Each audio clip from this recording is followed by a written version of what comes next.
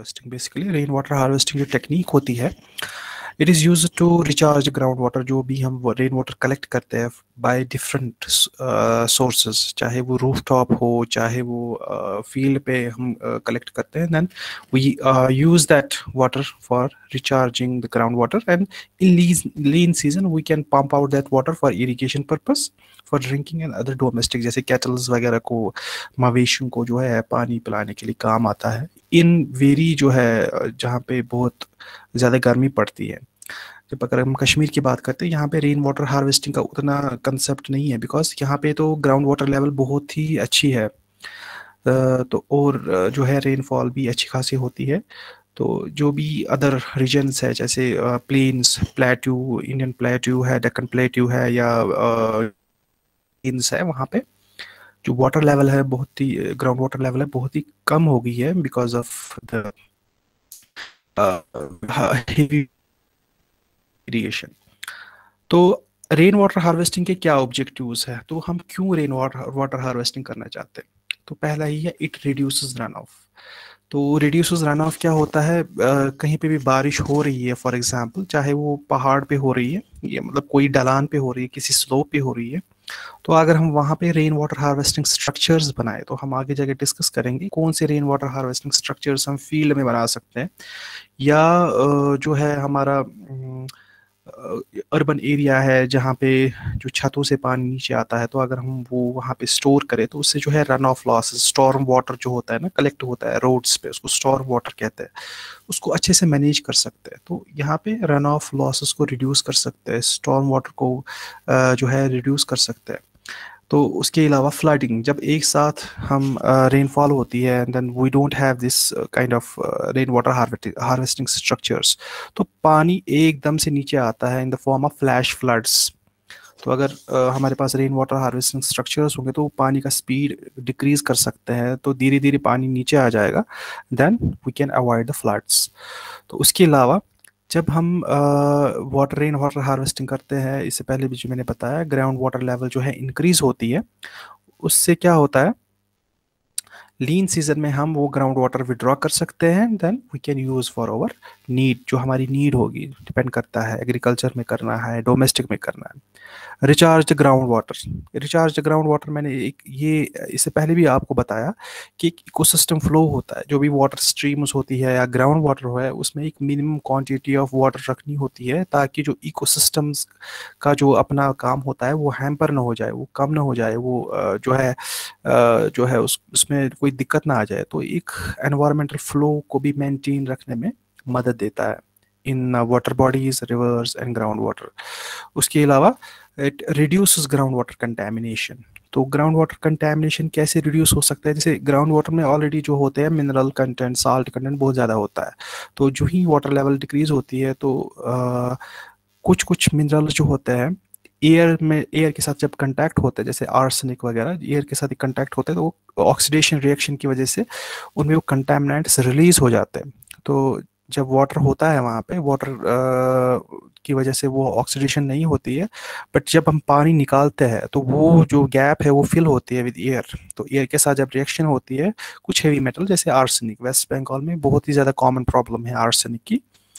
तो वो ऑक्सीडेशन होती है तो आर्सेनिक ऑक्सीडेशन स्टेट से रिलीज़ होती है ऑक्सीडेशन जो आयन्स होते हैं रिलीज़ होते हैं इन ग्राउंड वाटर तो कंटेमिनेट हो जाता है ग्राउंड वाटर तो हम यूज़ नहीं कर सकते। तो अगर हम ग्राउंड वाटर को पूरा रिचार्ज करके रखेंगे उसको इस्तेमाल भी करना है बट उसको अपने जो है तरीके से रिचार्ज भी करना है by rain water harvesting structures तो इस टाइप का जो ग्राउंड वाटर कंटेमिनेशन नहीं होगी। उसके अलावा अगर कुछ पोल्यूटेंट्स हो भी हो, हो, हो, होंगे भी जो वाटर में तो वो भी फ़िल्टर आउट होते हैं। जब ग्राउंड वाटर में पानी चला जाता है from the soil soil act as a sieve जो भी पोल्यूटेंट्स होते हैं, वो बाहर निकलते हैं। तो ग्राउंड वाटर में फ्रेश वाटर चला जाता है। तो ये थे objectives of rain water harvesting अब मेथड्स है। किन मेथड्स से हम रेन वाटर हार्वेस्टिंग कर सकते हैं? तो जैसे micro catchment and micro catchment या फ्लड मेथड से कर सकते हैं। तो माइक्रो कैचमेंट जैसे ऑन फॉर्म कर सकते हैं। रूफ टॉप मैंने भी बताया जो हम घर में करते हैं ना नॉर्मली हम वही हमारे जहन में वही आता है। जब हम रेन वाटर हार्वेस्टिंग का जो ज़िक्र करते हैं तो हमारे पास जो है छत से जो पानी हम आ, कलेक्ट करते हैं, उसको कंजर्व करते हैं तो उसको रूट ऑफ़ सिस्टम बोलते हैं। ये एक है माइक्रो लेवल पे। इसके अलावा बहुत सारे जो है तरीके हैं जिससे हम रेन वाटर को हार्वेस्ट कर सकते हैं। On farm a control ridges small pits run off tips हम कोशिश करेंगे, हम सारे एक एक करके इन ब्रीफ डिस्कस करेंगे। तो उसके अलावा माइक्रो कैचमेंट, बड़े लेवल पे, बड़े पैमाने पे हम कैसे एक फॉर्म में या एक एरिया में कैसे हम वाटर को कंजर्व कर सकते हैं through rain water harvesting methods तो उसमें वादी बेड सिस्टम है, off wadi bed system, wadi means valley, कोई भी इज़ अ प्लेन एरिया जो हम यूज़ कर सकते हैं for the conservation of water, wadi basically Arabic word है तो उसको वैली बोलते हैं, वादी। जो हम उर्दू में भी यूज़ करते हैं।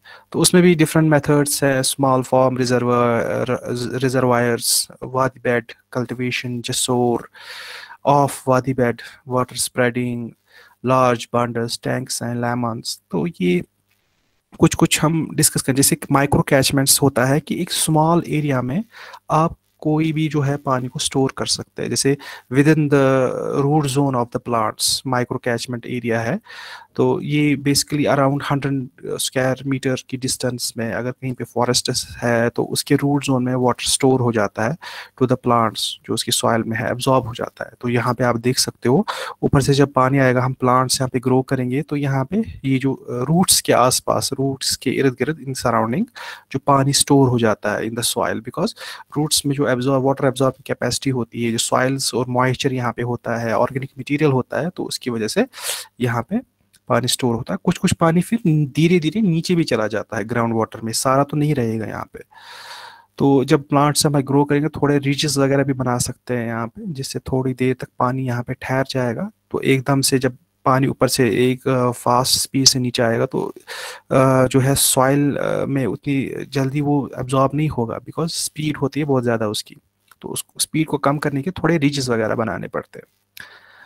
तो ऑन फॉर्म सिस्टम्स जो है, ये तो माइक्रो इसी के कुछ टाइप्स है। तो जैसे कंटूर रिच बनाते हैं। छोटे छोटे जो कोई ढलान जैसी होती है तो छोटे छोटे से पैचेस बनाते हैं, जिसको हम फ्लैट करते हैं तो ऊपर से अगर पानी भी आएगा तो यहाँ पे रुकता है वो। तो बेसिकली ये इन्हीं रिजेस की मैं बात कर रहा हूँ। ये रिजेस आप कैसे बनाएँगे हम? कैसे हम ये पानी यहाँ पे रोकेंगे? उसकी डिफरेंट टाइप्स है। जैसे कंटूर रिज तो यहाँ पे यहाँ पे तो प्लांट्स वैसे होने चाहिए, यहाँ पे है नहीं अभी, शायद वहाँ पे अभी सोइंग वगैरह चल रही है। देन यहाँ पे सेमी सर्कुलर बैट्स जो ट्रीज के आसपास सेमी सर्कुलर हाफ़ सर्कल जो बनाते हैं हम रॉक जिसको डैम्स बोलते हैं या रॉक बैट्स बोलते हैं तो उससे भी जो है स्पीड ऑफ़ वाटर डिक्रीज होती है तो थोड़ा टाइम मिलता है उसको। या छोटे छोटे गड्ढे बना सकते हैं स्मॉल पिट्स उसमें भी पानी ठहरता है कुछ देर। या इंटर रो सिस्टम जो है ये भी रोज़ के फॉर्म में पैरल रोज़ के फॉर्म में एक ढलान पे हम जो है वाटर को रोक सकते हैं, उसको सेव कर सकते हैं, कंट्रोल बेंच बना सकते हैं। जैसे बेंच की जो शेप होती है, उसी फॉर्म में हिल्स में जो है पर्टिकुलरली कारेवा जो है, वहाँ, जहाँ पे मिट्टी ज़्यादा होती है, जहाँ पे ज़्यादा जो है सॉइल इरोजन हो सकता है। और कुछ अदर फॉरेन अरब कंट्रीज़ में मस्कत सिस्टम है जहाँ पे ऑल यूज़ एंड अदर जो हॉर्टिकल्चर क्रॉप्स है, उनमें वो लगाते हैं पैचेस में तो उसकी वजह से भी वो पानी रोकते हैं। मस्कत सिस्टम शायद ओमान में यूज़ होता है ये सिस्टम तो ये कुछ टाइप्स है of on farm rain water harvesting उसके बाद रूफ टॉप जो आप मेनली घर में देखते हैं हम जो टीन लगाते हैं, उसके साइड में हम वो परनाल या कशिर छो ना तो उसको गटर बोलते हैं। तो उसके एक साइड में जो हम स्लोप रखते हैं, जहाँ से पाइप से पानी नीचे आता है। तो नॉर्मली हम घर में क्या करते हैं, जो पानी यहाँ से नीचे आएगा, रेन वाटर तो वो ड्रेन वगैरह में चला जाता है। तो हम उसको रेन वाटर हार्वेस्टिंग नहीं कह सकते। तो बेसिकली ऑब्जेक्टिव यही है कि आप रेन को स्टोर करेंगे। तो हमारा तो उतना उतना इसमें इतना मैक्सिमम तो काम तो हमने कर लिया बट अगर हम एक टैंक भी अंडरग्राउंड टैंक भी यहाँ पे इसके साथ कनेक्ट करके रखें, जो टैंक से पानी परकुलेट होगा मीन्स कि वो उसका सीपेज हो जाएगा एब्जॉर्ब हो जाएगा टू द सॉइल तो यहाँ पे तो रिचार्ज हो जाएगा ग्राउंड वाटर तो इसी को फिर पंप करके हम बाहर निकाल सकते हैं ग्राउंड वाटर को, या अंडरग्राउंड कोई टैंक बनाई प्लास्टिक की उसमें वाटर को सेव किया तो वहाँ से डायरेक्टली जो है मोटर वगैरह से पानी बाहर निकाला तो उसको यूज़ किया फॉर इरिगेशन डोमेस्टिक पर्पज़ तो इसमें भी डिफरेंट काइंड्स ऑफ़ लिमिटेशंस है, जैसे इसमें बैक्टीरियल एंड एलगल जो है पोल्यूशन होता है, उसको भी हम थोड़े से मैनेजमेंट करके उसको ठीक कर सकते हैं। उतना प्रॉब्लम नहीं है। तो ये छोटे पैमाने पे, अगर सब घर में ऐसे ही सिस्टम करेंगे तो हम कितना पानी सेव कर सकते तकरीबन तकरीबन आज कश्मीर में हर घर के पास तकरीबन तकरीबन ये सिस्टम मतलब पाइप्स वगैरह परनाल वगैरह लगा के है पाइप्स जो सिस्टम मगर खाली एक टैंक लगानी है, जिससे जो है अंडरग्राउंड वाटर में वो डायरेक्टली चला जाएगा पानी।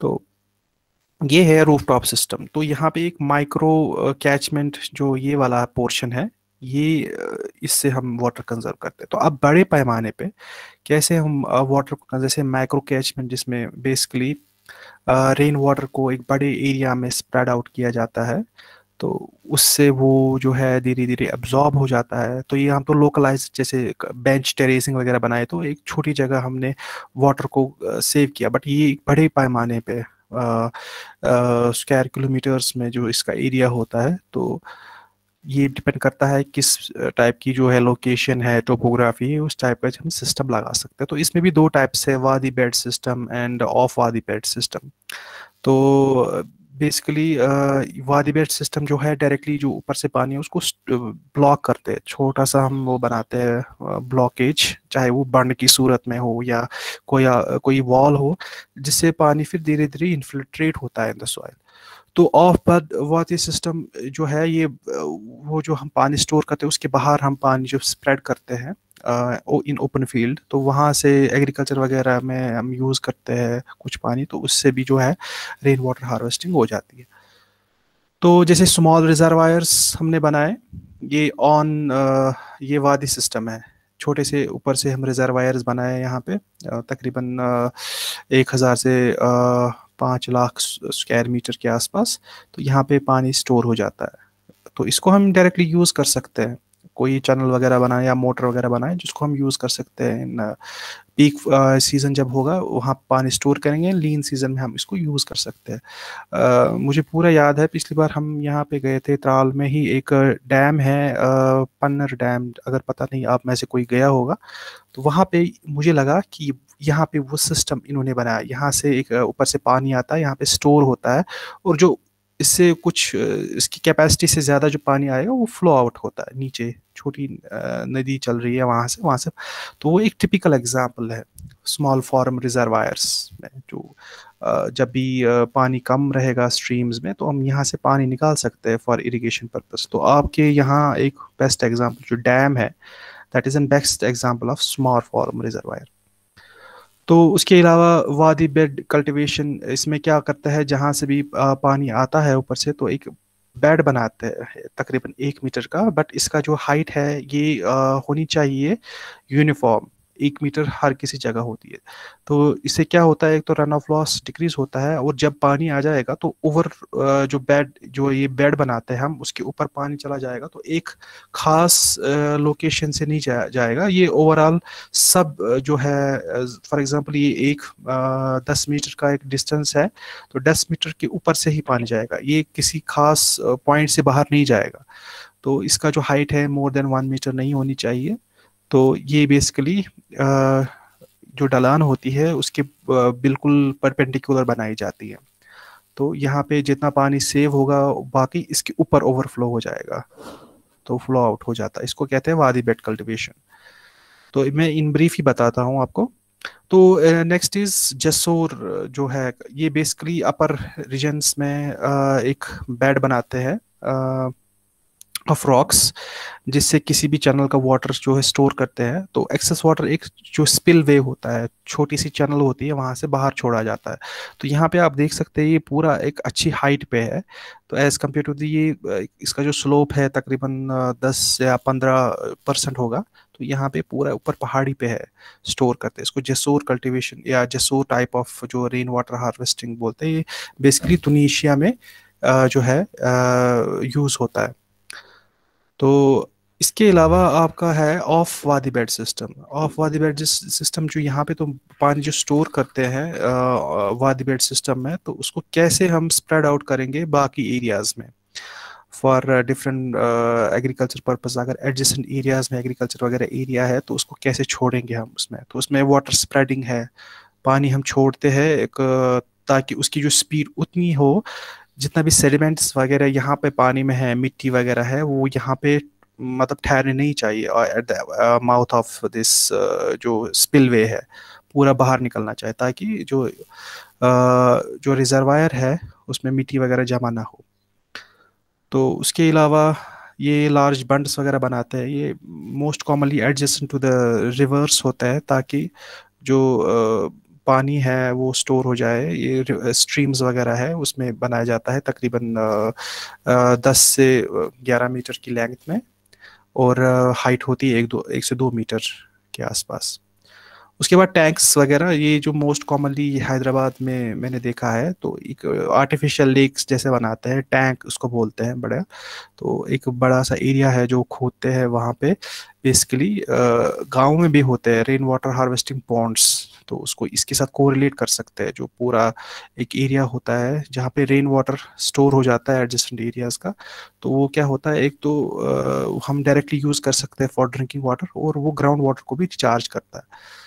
तो ये थे आपके आपको ज़्यादा टेंशन लेने की ज़रूरत नहीं है। ये उतने भी जो है डिफ़िकल्ट नहीं है but you must remember this classification of rain water harvesting अगर आपके एग्ज़ाम में आएगा अगर आप, आपके एग्ज़ाम में पूछा जाएगा कि किस किस टाइप के जो है रेन वाटर हार्वेस्टिंग मेथड्स है।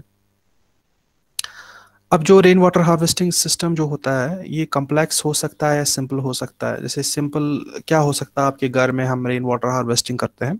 गटर से जो पानी नीचे आता है, उसको स्टोर करेंगे इन द टैंक्स और अंडरग्राउंड जो जो टैंक्स होती है, चाहे वो पत्थर की बनी हो, चाहे ईंटों की बनी हो, जिसका पानी डायरेक्टली परकुलेट होता है टू द ग्राउंड वाटर दूसरा होता है कम्प्लेक्स जिसमें ट्रेडिशनल तरीके से हम वाटर को जो है सेव करते हैं तो उसमें जैसे वादी वादी बेड सिस्टम की बात करी मैंने तो कैसे हम बड़े बड़े रिजायर रिजर्वायर्स को बनाएँगे, फिर उस वाटर को हम एग्रीकल्चर के लिए भी यूज़ कर सकते हैं, या ड्रिंकिंग वाटर सप्लाई नेटवर्क्स के लिए भी यूज़ कर सकते हैं। तो यहाँ पे आप सिंपल अपने लोकल नीड्स के लिए यूज़ कर सकते हैं, बट ऑन कम्प्लेक्स जो पार्ट है इसका, हम कैसे उसको पूरा अच्छी तरीके से ड्रिंकिंग जो भी ह्यूमन नीड्स है उसके लिए यूज़ कर सकते हैं। तो रेन वाटर हार्वेस्टिंग के कुछ बेनिफिट्स है, जैसे ये पानी का बिल्स है आपको सेव कर सकता है। यहाँ तो मीटर नहीं लगे हैं बट जहाँ पे मीटर लगे हैं, अगर आप पानी सेव करते हैं, जैसे गार्डन्स वगैरह हमें हम यूज़ करते हैं मोस्टली जो हमारा ड्रिंकिंग वाटर है तो अगर आपके घर में मीटर लगा है और ड्रिंकिंग वाटर आप यूज़ करते हैं गार्डन्स के लिए तो ऑब्वियसली आपका बिल ज़्यादा आ जाएगा। तो अगर हम वो करेंगे तो हमारी बिल्स कम आ जाएँगे गार्डन्स को कर सकते हैं, हम वाटरिंग कर सकते हैं जो शॉर्टेज वाटर शॉर्टेज को हम ओवरकम कर सकते हैं। तो उसके अलावा कार वॉशिंग के लिए यूज़ होता है टॉयलेट फ्लैश के लिए यूज़ होता है। तो ओवरऑल जो है, पैसा भी खर्च नहीं होता है एनर्जी भी खर्च नहीं होती है मतलब कम खर्च होती है और हमारा जो है रिसोर्स भी सेव होते सेव होते हैं सेव होते हैं। तो ये एक जॉन कैनेडी थे, फॉर्मर यूएस प्रेसिडेंट। इन्होंने बहुत ही यूनिक तरीके से वाटर प्रॉब्लम्स को कैसे वाटर रिसोर्स की अहमियत को कैसे उन्होंने जो है हाईलाइट किया। उन्होंने बोला anyone who can solve the problem of water will be worthy for two Nobel prizes, one for peace, one for science. एक तो साइंस का जो है, उसमें पार्ट आता है, एक पीस क्यों आता है? बिकॉज़ जो आपने वाटर कन्फ्लिक्ट्स देखे कि जब वाटर कन्फ्लिक्ट्स ज़्यादा हो जाएँगे नॉर्मली वो जंग की सूरत इख्तियार कर सकती है। तो अगर आप वाटर की प्रॉब्लम को सेव कर सेव कर सकते हैं वाटर प्रॉब्लम को सॉल्व कर सकते हैं then you can create the peace जो थर्ड वर्ल्ड वॉर है, बोल रहे हैं कि खाली जो है वाटर रिसोर्स पे लड़ी जाएगी then if you can solve that problem you can create the peace also you will be contributing to the science तो यहाँ पे आपके